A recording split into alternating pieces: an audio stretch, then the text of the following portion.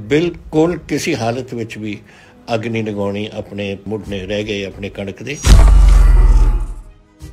ਕਿ ਜਿਹੜਾ ਕੋਵਿਡ ਹੈ ਨਾ, ਉਹ ਇੱਕ ਫੇਫੜਿਆਂ ਦੀ ਬਿਮਾਰੀ ਹੈ। ਔਰ ਉੱਥੇ ਆਕਸੀਜਨ ਜਦ ਘਟਦਾ ਉਹਦੇ 'ਚ, ਉਹ ਲੋਕਾਂ ਦਾ ਇਹ ਫੇਫੜੇ ਹੋਰ ਖਰਾਬ ਹੋ ਜਾਂਦੇ ਨੇ। ਕਿ ਤੁਹਾਡੇ ਅਗਰ ਬੱਚਿਆਂ ਦੇ ਫੇਫੜੇ ਕਮਜ਼ੋਰ ਹੋ ਜਾਣਗੇ, ਤਾਂ ਫਿਰ ਕਰੋਨਾ ਦਾ ਅਸਰ ਵੀ ਉਹਨਾਂ ਤੇ ਪੈ ਸਕਦਾ ਹੈ।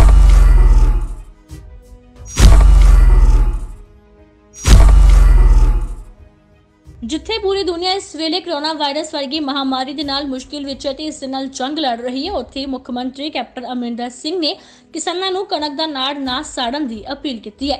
ਮੁੱਖ ਮੰਤਰੀ ਨੇ ਕਿਹਾ ਕਿ ਜੇਕਰ ਕਿਸਾਨ ਕਣਕ ਦੇ ਨਾੜ ਨੂੰ ਅੱਗ ਲਾਣਗੇ ਤਾਂ ਇਸ ਦੇ ਨਾਲ ਮੁਸ਼ਕਿਲਾਂ ਹੋਰ ਵੱਧ ਜਾਣਗੀਆਂ, ਕਿਉਂਕਿ ਕਰੋਨਾ ਵਾਇਰਸ ਪਹਿਲਾਂ ਹੀ ਲੋਕਾਂ ਨੂੰ ਸਾਹ ਲੈਣ ਦੇ ਵਿੱਚ ਤਕਲੀਫ ਪੈਦਾ ਕਰ ਦਿੰਦਾ ਹੈ ਤੇ ਕਣਕ ਦੇ ਨਾੜ ਨੂੰ ਅੱਗ ਲੱਗਣ ਤੋਂ ਬਾਅਦ ਲੋਕਾਂ ਨੂੰ ਸਾਹ ਲੈਣ ਦੇ ਵਿੱਚ ਹੋਰ ਮੁਸ਼ਕਿਲਾਂ ਵੱਧ ਜਾਣਗੀਆਂ, ਜਿਸ ਦੇ ਨਾਲ ਕੋਵਿਡ-19 ਦਾ ਹਮਲਾ ਵੀ ਹੋਰ ਵੱਧ ਜਾਵੇਗਾ।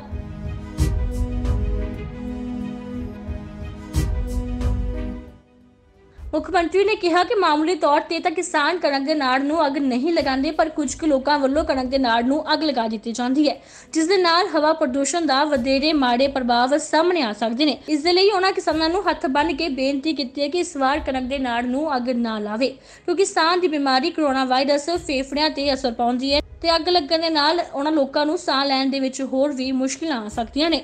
ਹੋਰ ਕੀ ਕਹਿਣਾ ਹੈ? ਮੁੱਖ ਮੰਤਰੀ ਦਾ ਆਓ ਸੁਣ ਲੈਂਦੇ ਹਾਂ ਇਸ ਵੀਡੀਓ ਦੇ ਵਿੱਚ।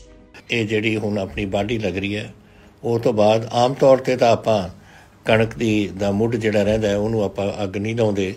ਲੇਕਿਨ ਝੋਨੇ ਦਾ ਆਪਾਂ ਅੱਗ ਲਾਉਂਦੇ ਆ ਉਹਦੇ ਨਾਲ ਬੜਾ ਧੂਆਂ ਹੋ ਜਾਂਦਾ ਹੈ ਪੰਜਾਬ 'ਚ। ਪਰ ਕਿਤੇ ਕਿਤੇ ਇੱਥੇ ਕਣਕ ਨੂੰ ਵੀ ਲਾ ਦਿੰਦੇ ਨੇ। ਔਰ ਉਹ ਮੈਂ ਤੁਹਾਨੂੰ ਇਹ ਗੱਲ ਕਰਨਾ ਚਾਹੁੰਦਾ ਕਿ ਸਾਡੇ ਵਾਸਤੇ ਇਹ ਐਤਕੀ ਬੜਾ ਖਤਰਨਾਕ ਹੋਊਗਾ। ਇਸ ਲਈ ਕਿ ਜਿਹੜਾ ਕੋਵਿਡ ਹੈ ਨਾ, ਉਹ ਇੱਕ ਫੇਫੜਿਆਂ ਦੀ ਬਿਮਾਰੀ ਹੈ। ਔਰ ਉੱਥੇ ਆਕਸੀਜਨ ਜਦ ਘਟਦਾ ਉਹਦੇ 'ਚ, ਉਹ ਲੋਕਾਂ ਦਾ ਇਹ ਫੇਫੜੇ ਹੋਰ ਖਰਾਬ ਹੋ ਜਾਂਦੇ ਨੇ। ਸਾਡੇ ਬੱਚੇ ਨੇ, ਸਾਡੇ ਪਰਿਵਾਰ ਨੇ ਸਾਰੇ। ਤਾਂ ਮੇਰੀ ਇਹ ਵੀ ਤੁਹਾਨੂੰ ਬੇਨਤੀ ਹੈ ਕਿ ਤੁਸੀਂ ਆ ਐਤਕੀ ਬਿਲਕੁਲ ਕਿਸੇ ਹਾਲਤ ਵਿੱਚ ਵੀ ਅੱਗ ਨਹੀਂ ਲਗਾਉਣੀ ਆਪਣੇ ਮੁੱਢਨੇ ਰਹਿ ਗਏ, ਆਪਣੇ ਕਣਕ ਦੇ। ਔਰ ਨਹੀਂ ਤਾਂ ਇਹ ਜਿਹੜਾ ਇਹ ਕੋਵਿਡ ਦਾ ਕੰਮ ਹੈ, ਇਹ ਹੋਰ ਵਿਗੜ ਜਾਣਾ ਔਰ ਜਿਹੜੇ ਸਾਡੇ ਮਰੀਜ਼ ਨੇ, ਉਹਨਾਂ ਨੂੰ ਹੋਰ ਨੁਕਸਾਨ ਪਹੁੰਚਣਾ ਔਰ ਇਹੀ ਨਹੀਂ ਕਿ ਤੁਹਾਡੇ ਅਗਰ ਬੱਚਿਆਂ ਦੇ ਫੇਫੜੇ ਕਮਜ਼ੋਰ ਹੋ ਜਾਣਗੇ, ਤਾਂ ਫਿਰ ਕਰੋਨਾ ਦਾ ਅਸਰ ਵੀ ਉਹਨਾਂ ਤੇ ਪੈ ਸਕਦਾ ਹੈ। ਇਸ ਕਰਕੇ ਮੇਰੀ ਬੇਨਤੀ ਹੈ ਤੁਹਾਨੂੰ ਬੜੀ ਹੱਥ ਜੋੜ ਕੇ ਕਿ ਇਹ ਕੰਮ ਨਾ ਕਰਨ। ਜ਼ਿਕਰਯੋਗ ਹੈ ਕਿ ਕਰੋਨਾ ਵਾਇਰਸ ਦੇ ਕਾਰਨ ਕਿੰਨੇ ਹੀ ਲੋਕ ਇਸ ਵੇਲੇ ਮੁਸ਼ਕਲਾਂ ਦਾ ਸਾਹਮਣਾ ਕਰ ਰਹੇ ਨੇ ਤੇ ਕਿੰਨੇ ਹੀ ਲੋਕ ਇਸ ਵੇਲੇ ਹਸਪਤਾਲ 'ਚ ਜੇਰੇ ਇਲਾਜ ਦੇ ਨੇ। ਇਹਨਾਂ ਸਭ ਲੋਕਾਂ ਨੂੰ ਧਿਆਨ ਵਿੱਚ ਰੱਖਦੇ ਹੋਏ ਮੁੱਖ ਮੰਤਰੀ ਦੇ ਵੱਲੋਂ ਕਿਸਾਨਾਂ ਨੂੰ ਅਪੀਲ ਕੀਤੀ ਗਈ ਹੈ ਤੇ ਹੁਣ ਦੇਖਣਾ ਹੋਵੇਗਾ ਕਿ ਕਿਸਾਨ ਮੁੱਖ ਮੰਤਰੀ ਦੀ ਇਹ ਅਪੀਲ ਮੰਨਦੇ ਨੇ ਜਾਂ ਫਿਰ ਨਹੀਂ। Bureau report, Spokesman TV.